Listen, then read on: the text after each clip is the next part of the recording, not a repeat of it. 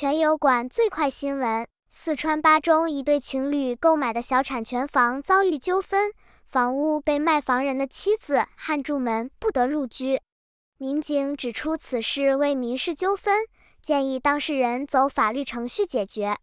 然而，当事人找法院咨询后，被告知因为房屋为小产权房，不属于法院受理范围。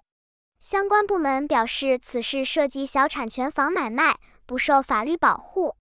目前卖房人失联，买房人无法入住，也无法退款。当地政府表示正在处理此事。订阅新闻极速递，最先知晓天下事。